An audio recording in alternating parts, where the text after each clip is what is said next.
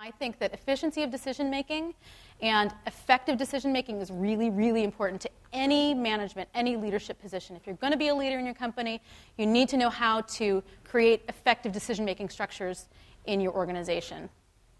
Um, we actually have an organizational consultant that we've been working with for four years now um, who has helped us to align responsibility, accountability, and authority so if I make you responsible for something, I need to give you the authority to deliver on that, right?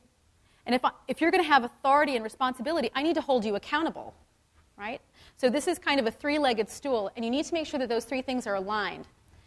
And when you get those three things in alignment, you have a much more efficient decision making structure kind of uh, by default. So align uh, responsibility, accountability, and authority.